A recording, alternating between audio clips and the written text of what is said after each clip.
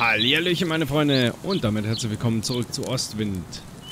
In der letzten Folge hatten wir ja einen etwas seltsamen Traum. Ähm, ja, der ein bisschen eventuell Fragen beantwortet hat. Und deswegen müssen wir uns jetzt schnell auf den Weg machen, bevor uns jemand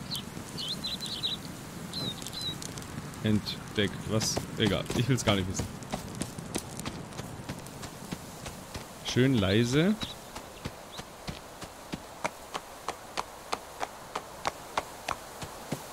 Oh, da ist ja Tinker. Was macht die denn hier? Ähm ja, egal. Ich will's. Tinker! Psst. Wer mein Papa uns sieht, wird er toben vor Wut, dass du Ostwind gestohlen hast. Schon wieder. Entschuldige, ich hab's rausgefunden. Was rausgefunden? Was hier vor sich geht, was Isabel plant. Und die Wahrheit über Frau Kaltenbach. Die Wahrheit über Kaltenbach? Bist du sicher, dass du nicht schon wieder mit deinen Geschichten durchdrehst und dann jemanden schlägst? Ja, treffen wir uns beim Zugdepot. Dann können wir reden.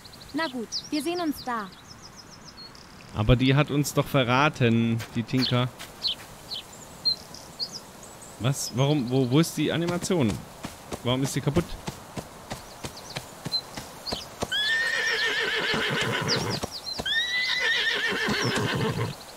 Ja, das geht so nicht, Pferd.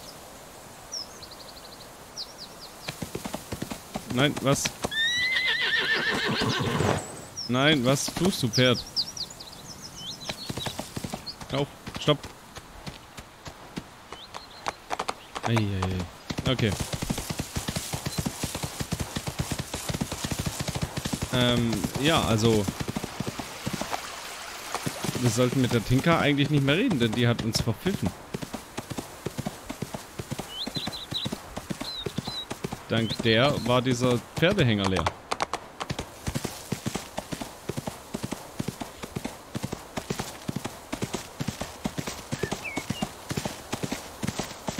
Also nicht dank ihr war der Pferdehänger leer, aber sie hat uns von dem Pferdehänger erzählt. Und warum sollten die das machen, mit einem leeren Hänger da auf uns warten?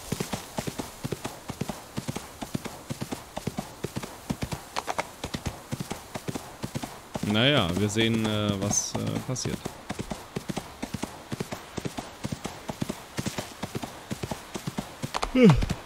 Ob man, weil die geschlafen hat, bin ich jetzt auch müde.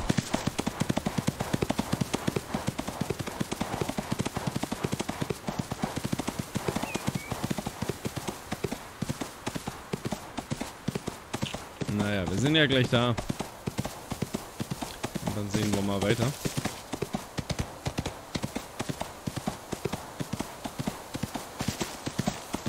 Aber wieso treffen die sich immer bei diesem Zugdepot?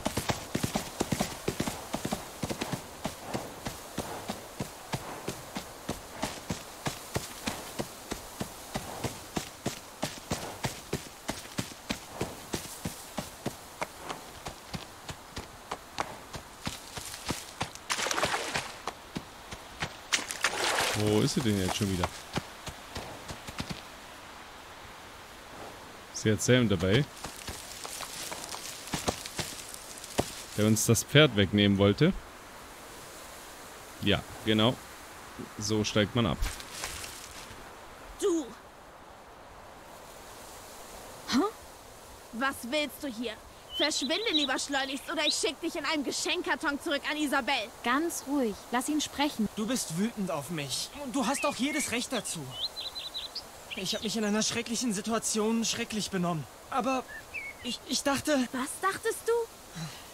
Ich weiß, dass ich Unrecht hatte. Aber ich... Mein Großvater hat mir erzählt, dass Mika und Ostwind eine Verbindung haben. Tiefer als alles, das wir wahrnehmen können. Normalerweise höre ich nicht auf seine Geschichten. Aber ich dachte, wenn wir Ostwind helfen, können wir vielleicht auch Mika helfen. Indem du das Pferd zwingst, zu tun, was du willst? Das hättest du besser wissen müssen. Ari, bitte. Diese Methoden, Tordurs Methoden, die hat er vor Jahren von meinem Großvater gelernt. Ich dachte, das ist der schnellste Weg, um Mika aus ihrem Koma zu wecken. Und ich habe mich von Isabels Versprechungen über die Zukunft des Gestüts und meiner Karriere blenden lassen. Du musst mich verstehen. Ich will nur sagen, dass es mir leid tut. dass ich vermutlich für immer bereuen werde, dass ich nicht von Anfang an auf deiner Seite stand. Und dass ich dir helfen kann, Isabel aufzuhalten. Ich habe ihm gesagt, dass du weißt, was los ist. Wir wollen alle, dass das aufhört. Für Mika, für Ostwind, für Maria und für dich, Ari. Bitte, lass mich euch helfen. Ich denke, er verdient eine zweite Chance. Was meinst du, Ari? Mika, du bist wieder da. Ich war nie Wegkriegerin. Selbst wenn du mich nicht siehst, bin ich immer an deiner Seite. Mika? Wieder da? Wovon redest du denn? Äh, ich... Ich meine, ich bin froh, dass du wieder da bist, Sam. Um Mikas wegen. Also, was ist der Plan, Ari? Was hast du herausgefunden? Ich habe herausgefunden, dass Isabel mit Waterflow Unlimited zusammenarbeitet. Sie hat wohl Teile des Anwesens verkauft, um dort irgendeine Anlage zu bauen. Der Tag der offenen Tür wird als Ablenkung benutzt, um die Baumaschinen ohne Proteste anzuliefern. Und als ob das nicht schon genug wäre, habe ich das Gefühl, dass Isabel Maria irgendwas angetan hat. Maria Kaltenbach etwas angetan? Aber was denn? Ich weiß nicht, aber ich glaube, dass sie was mit ihrer Medizin gemacht hat. Was? Das, das, das ist doch verrückt. Das hat Fanny uns doch auch schon gesagt, Sam. Sie hatte auch immer so eine Ahnung. Ich hätte mehr auf sie hören sollen. Ich war so ein Idiot. Isabel hatte mich einfach mit ihren Ideen und ihrem... Huch, zu schnell. Was ist denn, Sam? Also brauchen wir jetzt nur noch Beweise. Für Isabels Betrügereien. Damit Maria Kaltenbach zurückkommen muss und wieder das Sagen hat. Vielleicht ein Vertrag zwischen ihr und Waterflow. Rechnungen. Ein Chatverlauf. Einfach irgendwas, das ihr wahres Gesicht enthüllt. Ich kann nicht in Gut Kaltenbach einschleusen. Wirklich? Aber wie? Bei Isabels Renovierungen auf Gut Kaltenbach habe ich geholfen, den Zaun aufzustellen. Es gibt ein Tor von der äußeren Koppel nach innen, das nicht sehr stabil ist. Ich repariere meinen Traktor und reiße das Tor ein. Dann kannst du dich unbemerkt reinschleichen. Was Okay. brauchst du denn für die Reparatur? Ein paar Teile. Und mein Arm tut immer noch weh, nachdem Ostwind in meine Richtung ausgeschlagen hat. Ich kann die Teile nicht selbst besorgen. Ich weiß, du hast es nicht so gemeint. Du hattest Angst. Ist ja auch nicht das erste Mal. Stimmt. Also, Ari holt die Teile und Sam und ich suchen nach einer geeigneten Stelle, um den Traktor zu reparieren. Ich. Ich helfe dir. Äh, So. mm, Das erste jetzt. Teil ist bei der Tankstelle. Habe ich schon vor einer Weile bestellt, um meinen guten alten Traktor zu reparieren. Bin schon unterwegs. Warum hat der weiße Handschuhe an? Und warum ist die Hätte nicht gedacht, dass er so ein netter Kerl sein kann. Die Animation. Warum sind die Ihr habt euch zu einer Animationen kaputt? Zeit kennengelernt. Schön zu sehen, wie er sich um mich sorgt. Gut, also auf zur Tankstelle.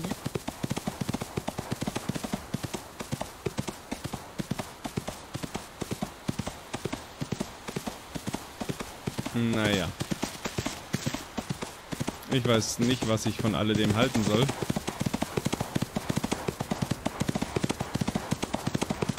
Finde es übrigens auch sehr dubios, dass Mika nur noch als, ähm, ich weiß nicht, als Beraterin fungiert.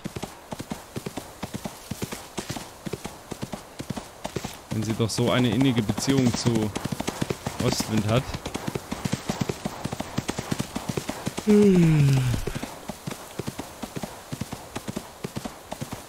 Vor allem, wie kann sie aus dem Koma wie ein Geist äh, umherfliegen quasi? Pferd, was machst du?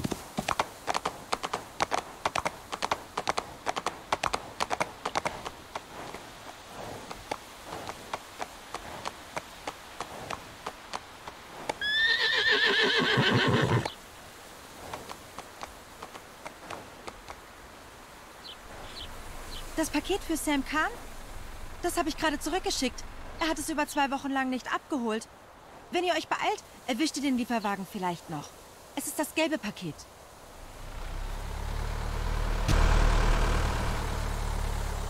Was jetzt? Sollen wir drauf schießen? Ganz ruhig. Folge ihm einfach, bis sich die Gelegenheit ergibt, mit dem Mann zu sprechen.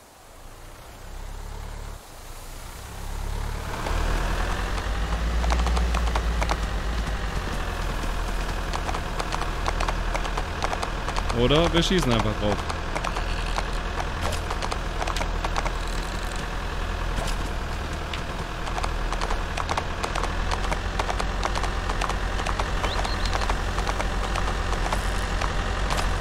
wir schießen auf den Typ.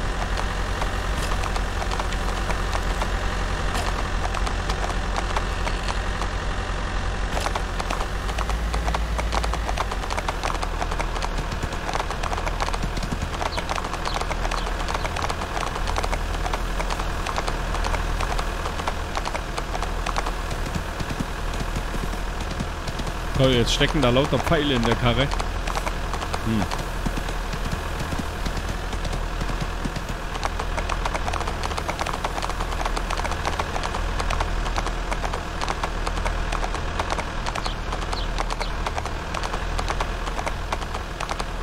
Oh Mann, oh Mann.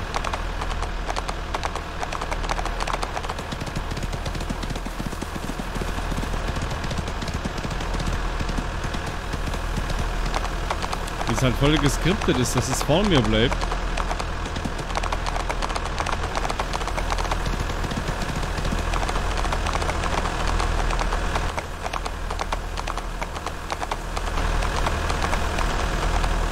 Hey.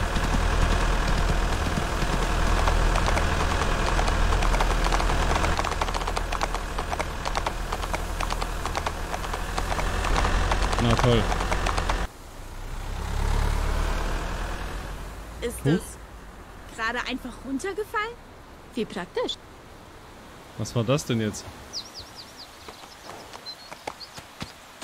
Und die Pfeile, die schweben hier in der Luft. Okay. Wo ist es denn?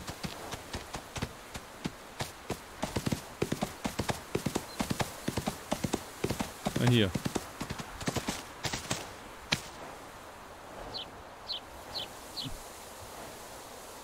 Das Spiel ist kaputt. Irgendwie freue ich mich ja, aber wirklich vertrauenserweckend ist das nicht. Denk einfach nicht zu viel darüber nach. Bringen wir es zu Sam. Ja, ja. Da ist noch so ein Billboard, aber äh, kein Bock.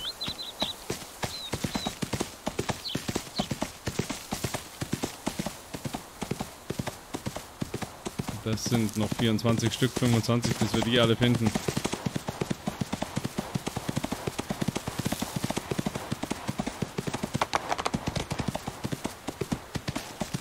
Naja. Jetzt ähm, gehen wir mal zu Sam zurück. Beziehungsweise galoppieren zu Sam zurück.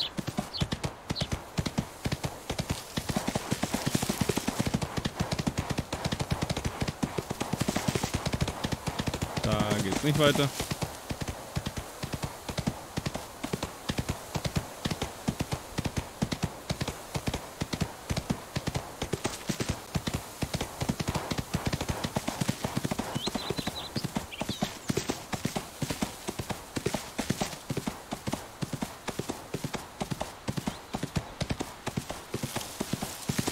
So. Oh, mir schläft das Gesicht ein.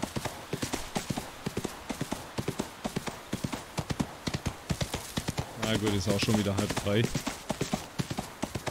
Muss noch schneiden und dann ins Haiabettchen bald. Mal sehen, ob ich dann auch ein Pferd habe, wo ich drauf schlafen kann. Wahrscheinlich eher nicht.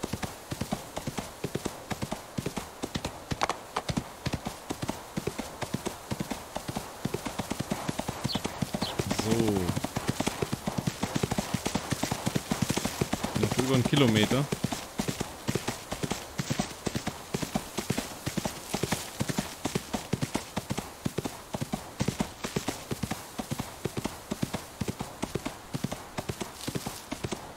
Aber so ein Pferd ist echt ein ganz praktischer Geländewagen. Also man kommt sehr gut durchs Gelände.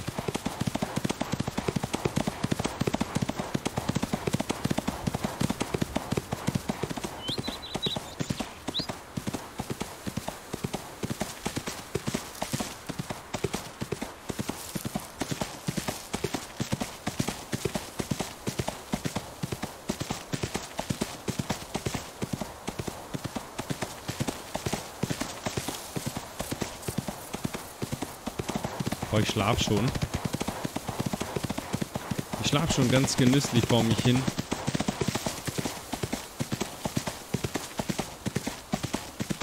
Dann wird Zeit, dass ich mal speichern kann. Oder dass das Spiel automatisch speichert.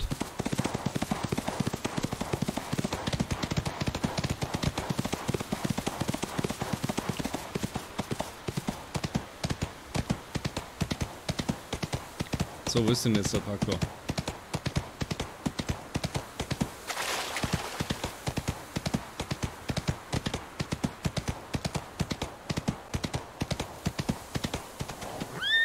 Springt rüber.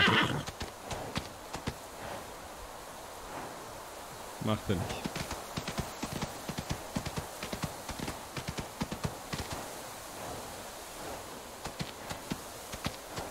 Warum nicht?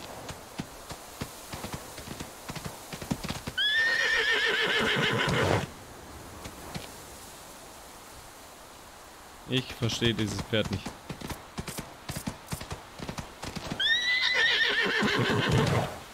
Na also, geht doch.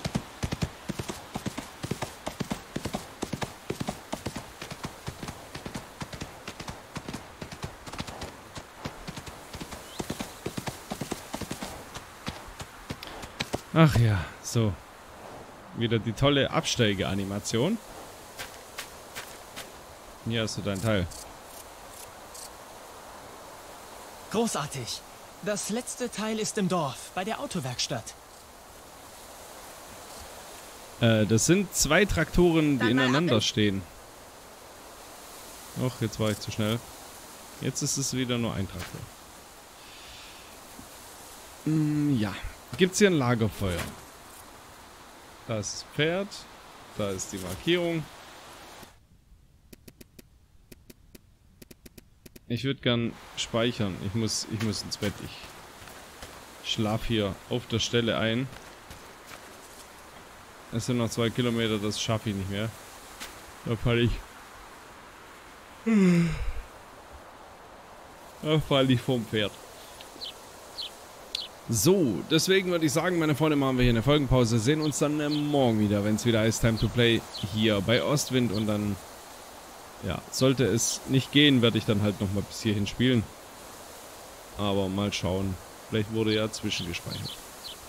Ich kann eigentlich mal hier schauen. Billboard Hand 2.09 Uhr. 2.40 Uhr. Ja, das war gerade eben. Das müsste passen. Gut, ähm, ja. Dann würde ich sagen, wie gesagt, wir sehen uns morgen wieder. Bis dann, macht's mir gut. Tschüss.